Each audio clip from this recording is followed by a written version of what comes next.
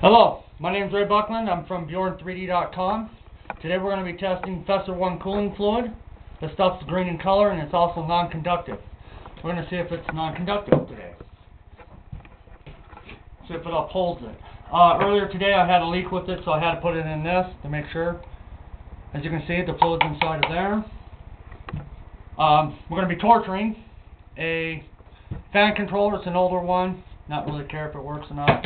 I know it does, but who cares? Fan with the uh, LEDs in there, so we can see if the fan's running or not. We got a power supply, just an old 500 water. Um, we're going to continue on here. We're going to dunk this in there, and then we're going to power it up. Before we start, we are going to hook it up prior to. So we know it is working. Make sure everything works just fine.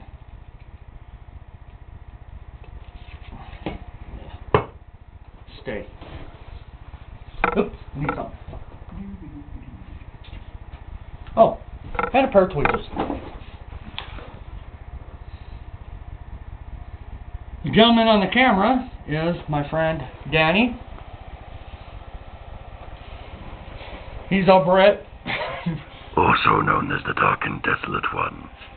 As you can tell, everything's running just fine. There's no problems, ifs, ands, or buts about it. So, we'll unplug it, turn it off. Before we continue, we need to make a sacrifice offering to the gods of overclocking. All hail gods of overclocking. All hail gods of overclocking. All hail gods of overclocking. Okay, we're done with that bit. Gonna take our little fan controller here. We got our water here, non-conductive. We're just gonna drop that in there. As we can tell, there is it in there.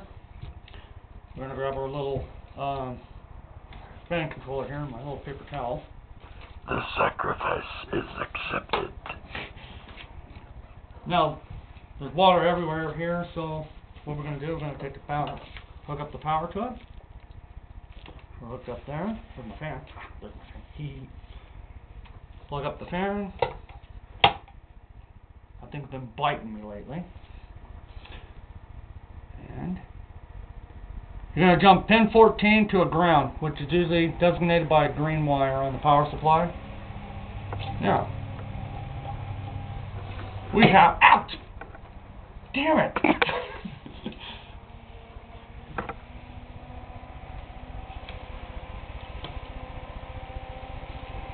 Stay. Yes, sir. Oh, you're on the way anyway. Ah, there we go. now, we're never satisfied just dunking in is not enough. We need to add water to things. Well, we're just going to pour the Feser 1 fluid over the fan controller while it's still hooked up. I think my radiator sprung a leak. Take our finger now, we're really going to make sure. Ah! Nope, just kidding. Didn't zap me or anything.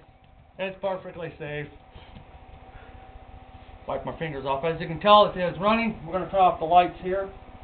Um, you want to turn that switch off so you can actually see that it is still running. But in complete and total whiteness. So you can tell the fan control is still working. The water is non-conductive. And it works just fine. So for those of you who are looking for water cooling for their computers and afraid of the water torching their computers, Sissies. the Feser 1 cooling fluid will keep you from torching your computer components if you happen to spring a leak. Um, we're going to call it a day right here. So you all have a nice day.